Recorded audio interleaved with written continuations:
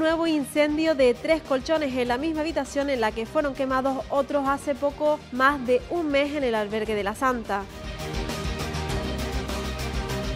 Los sucesos en los que más actuaron los bomberos en 2023 fueron en la quema de contenedores y en los accidentes de tráfico. Este martes Lanzarote entrará en alerta naranja por vientos que pueden llegar hasta los 90 km hora.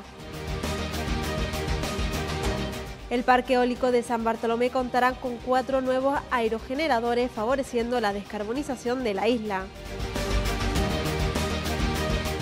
El almacén debate sobre los 50 años que lleva formando parte de la cultura en la sociedad arrecifeña y lanzaroteña.